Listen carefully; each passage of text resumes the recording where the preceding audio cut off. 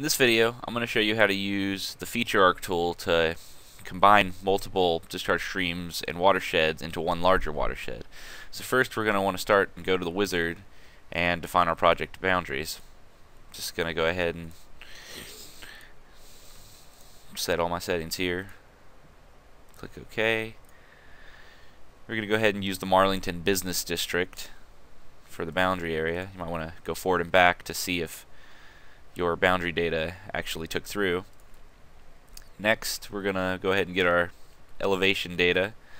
Just download that from the web. You can get your soil data downloaded from the web here too, but for these for the purposes of combining these watersheds, we're not going to need that.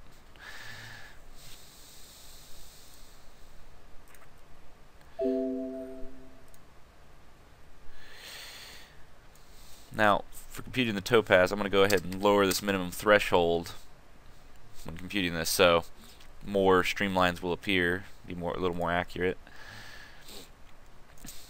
And voila. Now,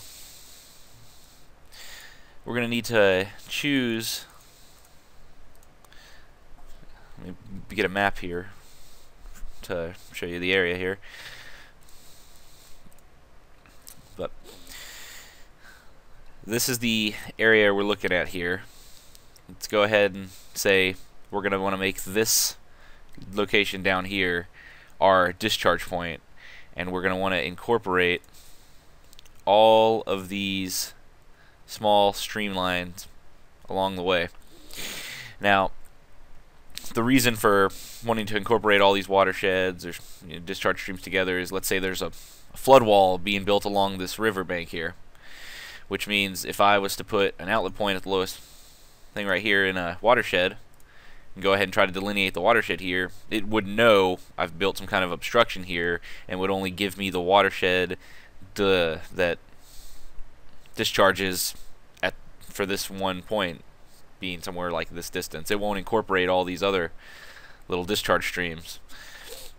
So what we're going to need to do next is close the wizard go over here to the map module, click on feature arc. You want to go to the feature objects and attributes next. Make sure stream is turned on. Then just click on your outlet point with your feature arc tool and just trace out where your obstruction is going to be like the wall as I said is going to be along this riverbank so go ahead and just draw it along the riverbank incorporating all the discharge streams that you want to combine. So as you can see, I'm clicking here through every one of these stream discharge streams I want to add to my main one. It's a bit rough. When you get to the end, just double click, double left click, and as you can see, this little blue streamline appeared with arrows telling the flow direction. That represents all the flow from all these different streamlines is going to come down where they normally would to discharge and then just flow along your created uh, feature arc path.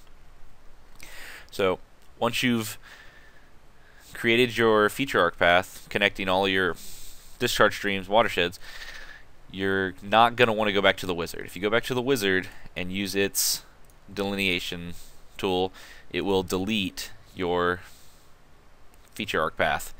So instead, you're going to want to manually click on the drainage module, D, go to the DEM tab, and define your basin.